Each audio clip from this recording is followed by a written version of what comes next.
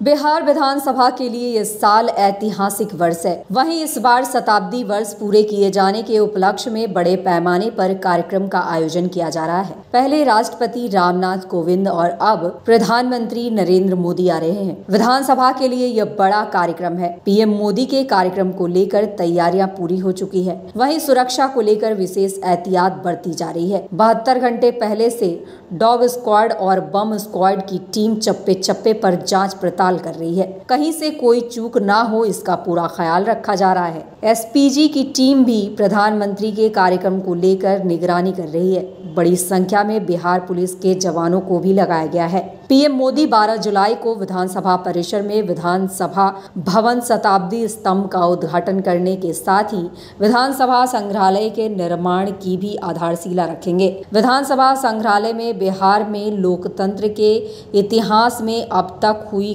घटनाओं का विवरण होगा। इसके साथ ही प्रधानमंत्री विधानसभा गेस्ट हाउस के निर्माण की भी आधारशिला रखेंगे। अपने एक घंटे के प्रवास के दौरान प्रधानमंत्री का संबोधन भी होगा। बता दें कि इस कार्यक्रम के बाद पीएम मोदी देवघर के लिए रवाना होंगे, जहाँ प्रधानमंत्री मोदी देवघर में बाबा बैद्यनाथ के गर्भगृह में पूजा अर्चना करेंगे। बता दें कि प्रधानमंत्री मोदी देश के पहले ऐसे पीएम होंगे जो मनोकामना ज्योतिर्लिंग की उपासना करेंगे, जिसको लेकर वहाँ भी काफ़ी तैयारियाँ की जा रही है। ऐसे में खबर ये भी है कि पीएम मोदी 12 जुलाई को ही देवघर एयरपोर्ट का भी उद्घाटन करने वाले हैं।